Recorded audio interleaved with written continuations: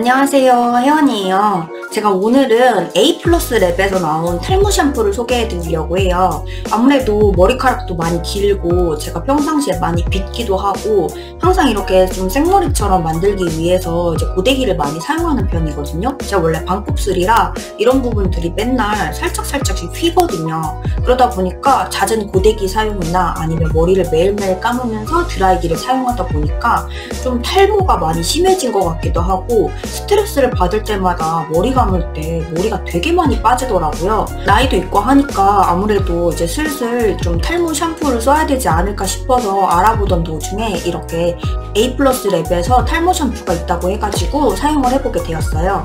A 플러스 랩에서 나온 탈모 샴푸 같은 경우에는 25년의 연구 결과하고 인체 적용 시험에 적용된 탈모 샴푸로 탈락되는 모발의 수가 74%나 개선이 됐고 지인한테 추천하고 싶은 그런 샴푸라고 하더라고요. 특히 그냥 탈모 케어만 되는 게 아니라 모발까지 케어가 된다고 해서 사용을 하면 할수록 만족한다는 그런 샴푸이기도 하면서 샴푸를 사용했는데 모발에 윤기도 나고 모발에 탄력도 생기고 샴푸만으로도 모발 엉킴이 어느 정도 개선이 된다고 하는 그런 샴푸라고 해요. 그래서 저는 기존에 샴푸를 사용을 하면서 린스를 꼭 사용을 해야지 머리 엉킴이 좀 덜했고 지금 이렇게 보면 모르겠지만 사실은 제 머리가 약간씩 탈색모예요.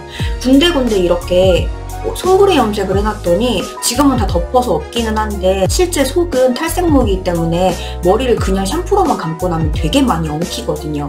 근데 이제 이 샴푸를 사용하면서 그런 부분들도 개선이 되고 기존에 이렇게 칙칙했던 그런 머리들이 사용을 하고 나서부터 윤기도 생기고 탄력도도 생기고 그리고 특히 이 두피 윗부분이 좀 많이 개선이 됐다고 보시면 돼요. 그래서 제가 사용하기 전에 제 두피 상태와 샴푸를 사용한 후에 제 두피 상태를 한번 비교해서 보여드릴 건데 얼마만큼 좋아졌는지 그런 before after를 한번 보여드리도록 할게요.